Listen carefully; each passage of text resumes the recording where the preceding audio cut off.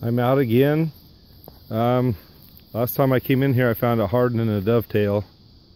This creek just started kind of producing some stuff. Nice big rock bar there. I haven't checked any of that. Pretty sweet. This is also the creek I found my Clovis in.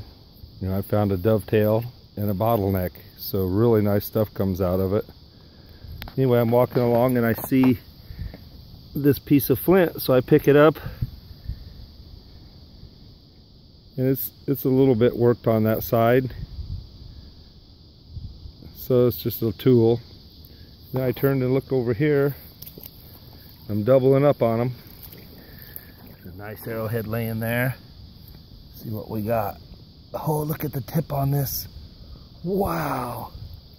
Oh, man. Just a little nick there out of the back, but oh, that thing is sweet.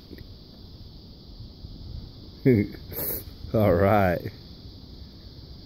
That is awesome. Okay, we'll see what else we can find. Get back with you.